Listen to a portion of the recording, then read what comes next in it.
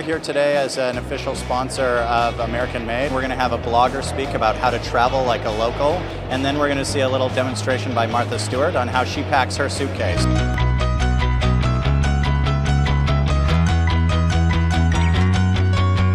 My top three travel tips for traveling like a local are first of all, stay in a place that feels like home. Think about staying in a serviced apartment or an extended stay hotel like Hyatt House.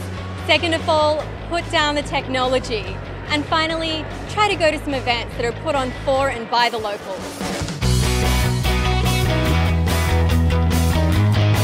Hyatt House is sponsoring uh, my little talk this afternoon. They have something at all Hyatts called Hyatt Has It. I was staying in the Hyatt yesterday and I forgot my toothpaste, mouthwash, toothbrush. In five minutes, they were in my room, so they have it. I wanted to do a little demo about the do's and don'ts of packing. So I pack my clean clothes in the plastic garment bags that you get at the dry cleaners. It's something about the plastic over the clothes that keeps them from wrinkling.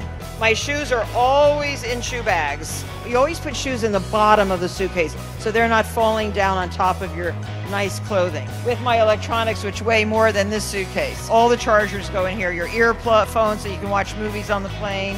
And thanks, Hyatt House. Thank you. Thank Thanks you for very, us. very much.